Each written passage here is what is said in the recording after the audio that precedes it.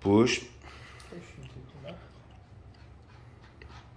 Nice.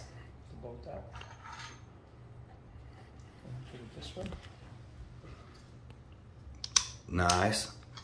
That goes out as one. Pull the hand a little bit out. Good. Now to reassemble, just reverse the process.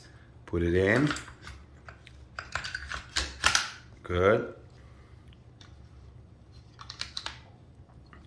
Good. Make sure the square spot goes on the, the little square rail.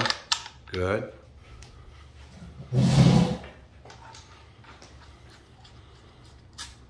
Good. Okay, so now watch this. Push here, unscrew a little bit, unscrew a little bit more. All right, if you have it like this, that it's not all the way in, and there's the little give, see the little give? Yes, sir. Now what will happen is the, the Uzi won't work because when you shoot, the firing pin is too far away from the bullet because this is loose. This has to be tight. Now, you hear this little don't strip it. Push and turn. And when you're done turning, you let go and you make that little inspection. Got it? Perfect. One more time. Let's go.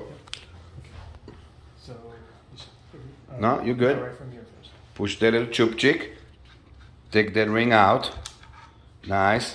Barrel comes out. Good. Flatten it up. Good.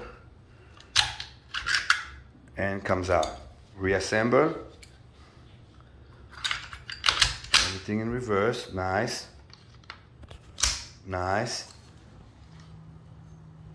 That square is square. Good. And that's how you assemble, reassemble. Got it? Perfect. Nice.